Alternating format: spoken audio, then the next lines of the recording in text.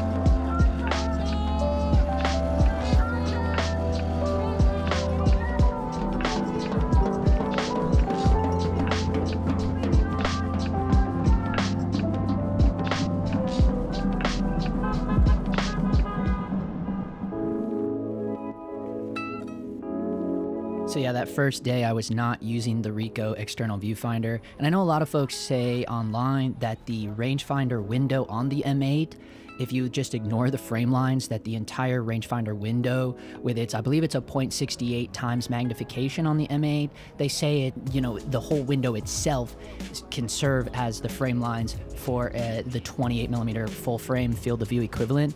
However in my experience i mean that may be true.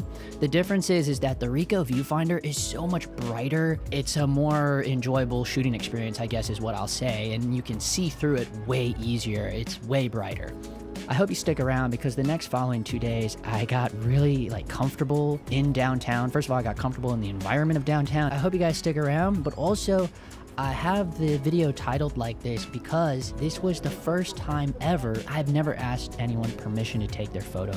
And, you know, my buddy Shalaby, you know, I got to give props to him because he just like, he, you know, convinced me to start doing that. And this dude, the first ever, uh, he ended up hitting me back once I emailed him the photos, and now he wants to hire me to shoot a full on portrait session with him. So, out there, you know, take risk, you know, that's like kind of new thing for me. I mean, it's not new for me to take portraits. Anyways, yeah, so this dude, he was literally the first guy I ever asked permission to shoot.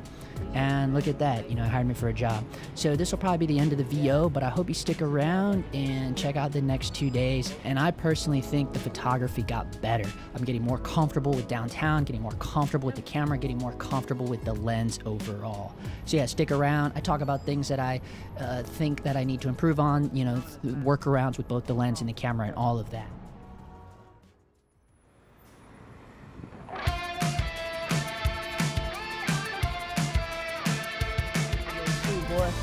You ain't gonna lose those. Damn, I wanna get a shot of these guys right here, dude.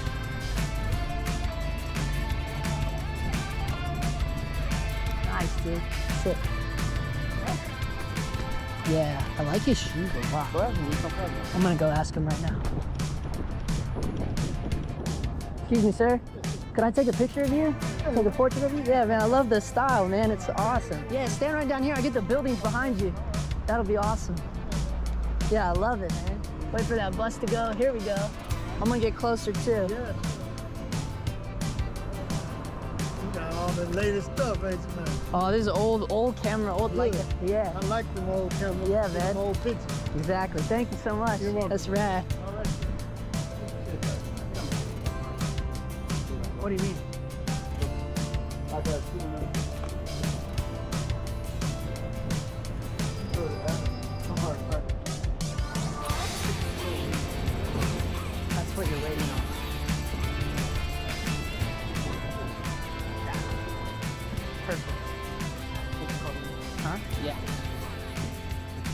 You'd have to go and uh, set it up for me, actually.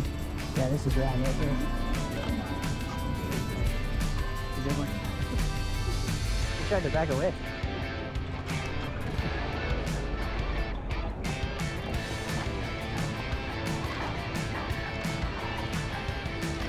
Rad, man. Thank you. Huh? okay. That's a good one. That's a good one, dude. That's so good, dude.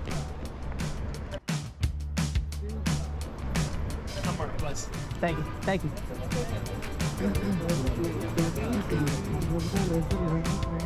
Oh, yeah. Stand over here in front of this building. Thank you.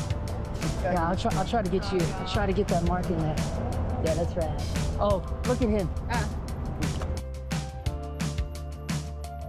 Yeah, that's rad. Thank you. Check your Instagram. Okay. Thank you. All right. Thank All right. you. Yeah. You fucking me up, man. it's on the street. It's crap. Is it that bad? No one knows what it was. Huh? No one knows what it was. That's No, what the backpack is like. You think you think they would they would take that down a whole post or just the one picture? How does it work? I don't know. I only have one picture, so.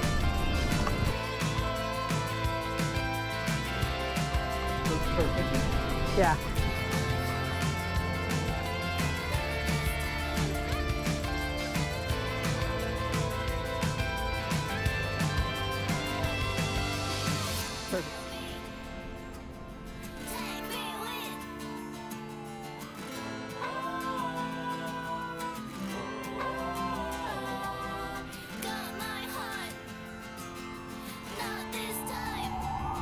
Blurry shot.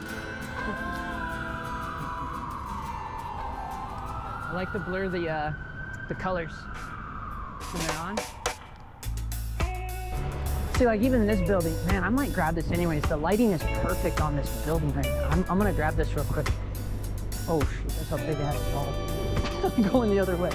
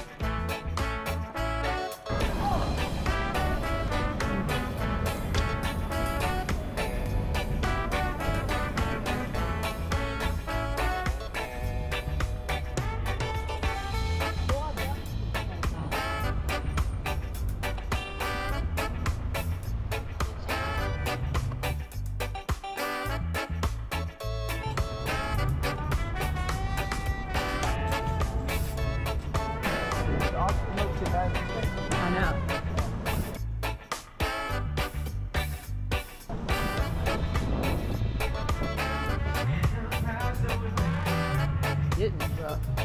Getting good time right there.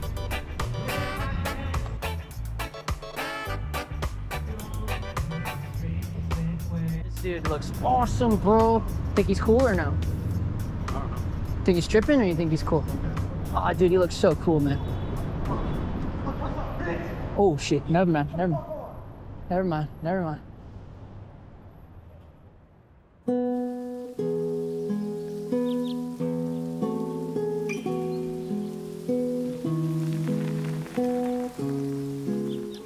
All right, my dudes, we're back. Day three. Tried my best getting in close, getting in tighter. It's not exactly the same as like shooting street in like Beverly Hills or something, you know. There's um, you know, there's a there's a larger abundance of good things to document and more characters out and about, but with that comes a heightened level of anxiety. A little bit makes things feel a little bit more sketchy. But we're gonna hit it. Uh, the biggest thing is I, I put too much trust into the aperture priority mode of this camera. What resulted was just way too much motion blur a lot of times. Luckily, some of the shots still worked. Sometimes it adds a little bit more organicness to it when it's a little bit blurry, but some were too blurry for to even use, so I didn't even, you know, bother showing them. Obviously, I'm only showing you the ones that I feel are worthy enough. Took a lot more than what I'm showing in this video. Um, so today I'm gonna have to just start remembering to meter each new street I get on. That's gonna be a bit of uh, a challenge in its own, remembering to meter. Also, sometimes this aperture gets knocked around a little bit. It's just, a, it's not tight enough. And I just had this lens serviced, but it's really old, so it's just a thing I have to keep an eye on. I gotta keep an eye on that aperture, trying to keep it around an f8. Oh yeah, sleep, the sleep timer. I missed a handful of shots because the camera fell asleep. And when I thought I took a picture, I didn't because it takes a minute for it to wake up. So I missed like two or three shots uh, on day two for sure because that shutter didn't fire because the camera fell asleep. So there's three things I gotta constantly check now. Is the camera awake? Is the aperture where I want it to be? And how are we on exposure meter wise? it's a lot more to look and respond to. It's a lot more to keep an eye on versus, you know, running around with the Sony, which is basically like a little computer. Uh, other than that, let's hit it.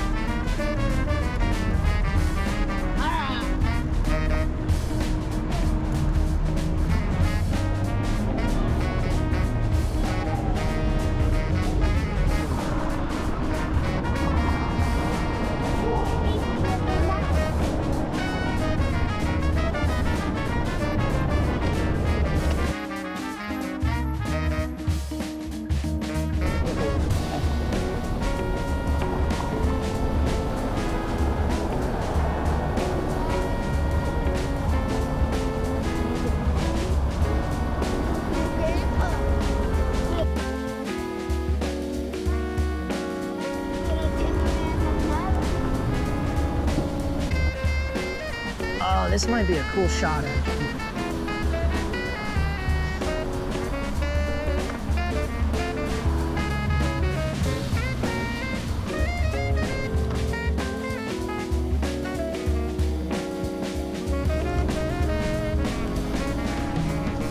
It's cool with the big sign. Big sign said closed with him next to it.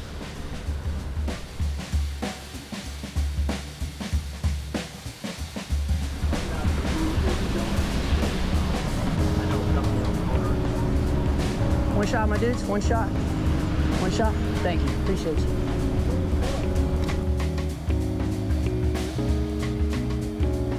Thanks, guys.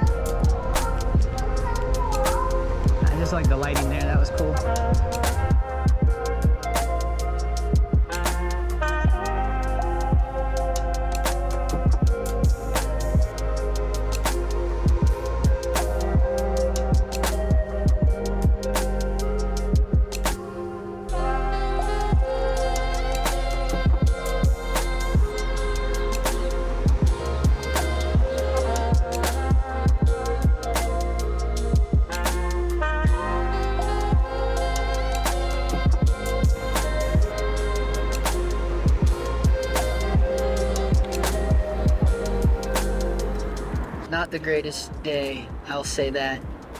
This battery finally just died, so that's cool. The one thing I will say, these M8 batteries last really long time. So everyone that complains about them not lasting long, I don't understand what they're doing. Anyways, that's beyond the point. What did I struggle with today? Everything, I guess. But also, like, I also su- I still suck at what I'm doing, too. You know, like I'm still trying to figure out this street photography thing. I mean, I guess I feel okay about some of the photos that I shared with y'all, but not really. I, I don't know, man. I don't know. It's I, I think street photography is the hardest thing that anyone can do with a camera. Like you asked me, what's the hardest what's the hardest thing to shoot? Uh, hands down, street photography. And that's the bummer part about it. It's like, why am I in love with something that I'm so bad at? That's the biggest question. And that uh, and that will probably forever haunt me. You know, I'm addicted. I'm addicted to something that I suck at. Damn, that sucks. But that makes sense because most things that I've been addicted to in my life, I suck at. Right? I was an alcoholic for 15 years. I was horrible at drinking, the worst drinker known to man. Uh, but yet I was addicted to it. Skateboarding, skateboarding is the one thing that I was semi decent at, that I was addicted to. But the addiction didn't last long. That's why you don't drink and booze, folks, because it'll kill your ambitions and dreams, and you'll end up being 39 years old out here trying to do a vlog about street photography. Let's go.